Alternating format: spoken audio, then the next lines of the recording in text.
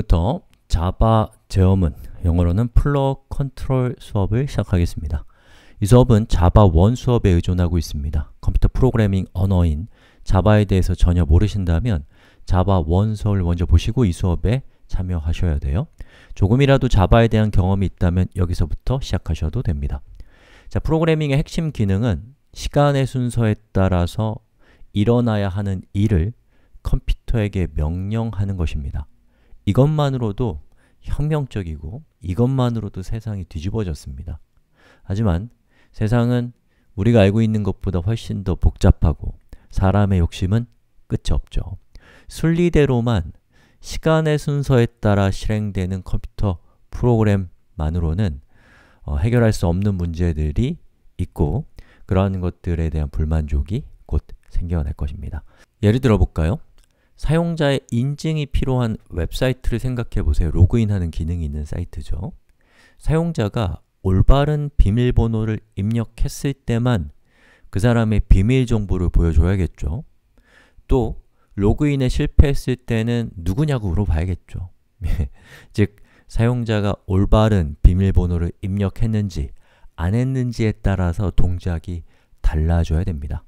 이런 작업을 위해서 필요한 것이 조건에 따라서 실행되는 순서를 제어한다 라고 해서 조건문, 영어로는 conditional statement라고 부릅니다. 또 우리가 처리해야 될 데이터가 1억 건이 있다고 한번 상상해 보세요.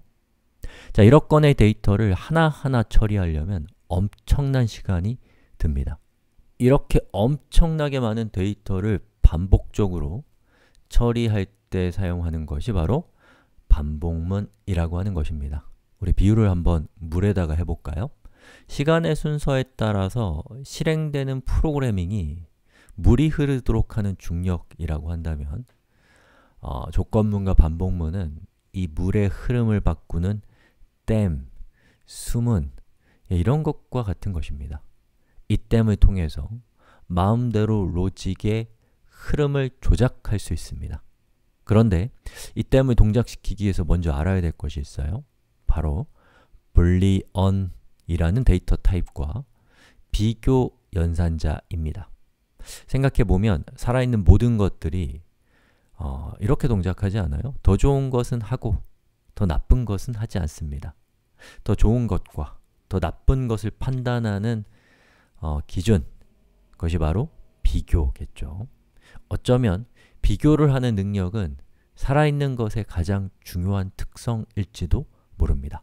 지금부터 우리는 논리학 분야의 위대한 성취 중의 하나인 Boolean 데이터 타입으로 시작해서 Boolean 데이터 타입을 만들어내는 유일한 연산자인 비교 연산자를 거쳐서 교차로와 같은 조건문을 찍고 순환도로라고 할 수 있는 반복문까지 이어지는 여행을 시작할 것입니다.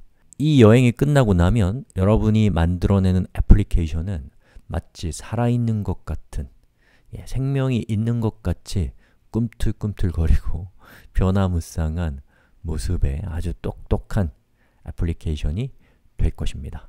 기대되시죠? 기대 안 되면 자기 손해입니다. 자, 준비하시고 출발합시다.